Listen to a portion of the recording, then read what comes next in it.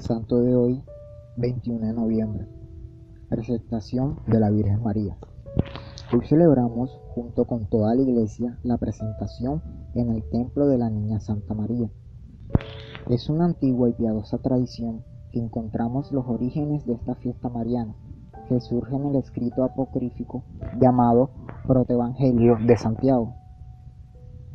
Este relato cuenta que cuando la Virgen María era muy niña, sus padres San Joaquín y Santa Ana la llevaron al templo de Jerusalén y allá la dejaron por un tiempo, junto con otro grupo de niñas, para ser instruida muy cuidadosamente respecto a la religión y a todos los deberes para Dios.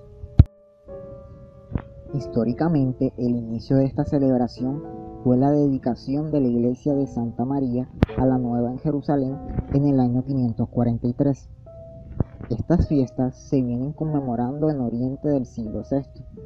Inclusive el emperador Miguel Comeno cuenta sobre esto en una constitución de 1166.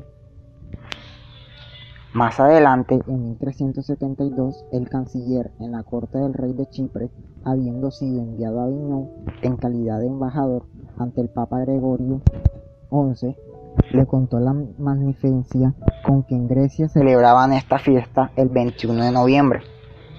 El Papa entonces la introdujo en Aviñón y Sistos V la impuso a toda la iglesia.